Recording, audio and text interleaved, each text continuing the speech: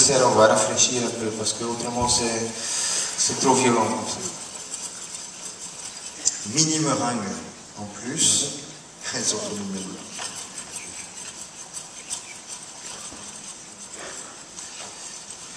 Et on a aussi fait une glace, euh, glace à la bière. Alors on a deux goûts très forts. Ça c'est le craquelin.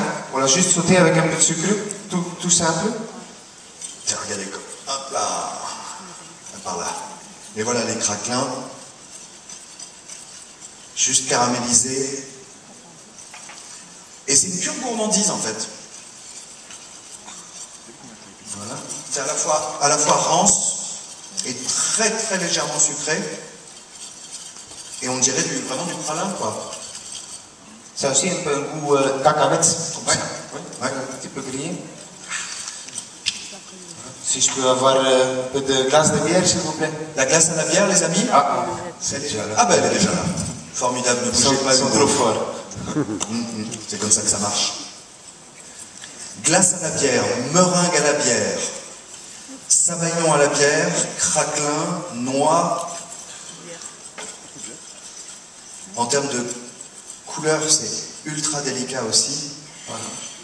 Voilà. Ça y est. Ça, c'est un dessert au restaurant Indemulf, à Dranuter. Vraiment, vraiment pas loin de nos frontières, de notre frontière.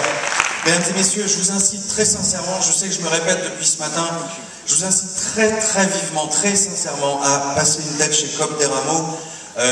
On aurait pu nous-mêmes à Omnivore euh, aller le chercher un tout petit peu plus tôt. Bon, voilà, on a pris notre temps, mais j'aime autant vous dire qu'on n'a pas regretté de s'être jeté encore une fois dans la gueule du loup. Indevulf, Cop des Rameaux, merci mille fois. Et, euh, merci à tout le monde d'être là et merci à l'organisation Omnivore. C'est un grand honneur d'être là. C'est un pur plaisir.